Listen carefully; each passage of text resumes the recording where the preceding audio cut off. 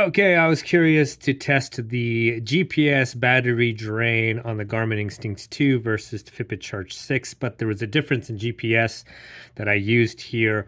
Uh, specifically, here on the Fitbit uh, Charge 6, if we just go to settings, we go to GPS here, right there. Um, I used dynamic GPS, which actually toggles between the phone and the uh, the device itself.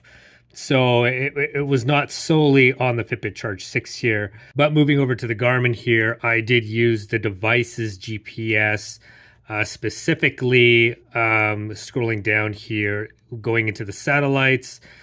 I used the default GPS plus the GLONASS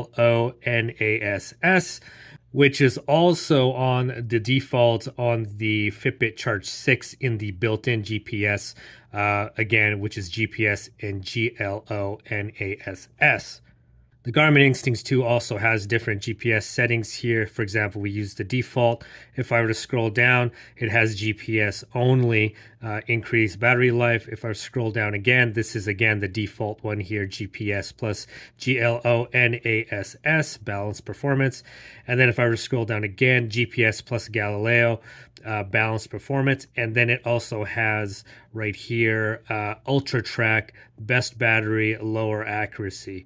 On the Fitbit Charge 6, it has the dynamic GPS. Again, that's the phone and the built-in GPS. If I were to push that again, it has the built-in GPS, impacts battery, and then it has uh, the GPS just using the phone, and then back to dynamic GPS.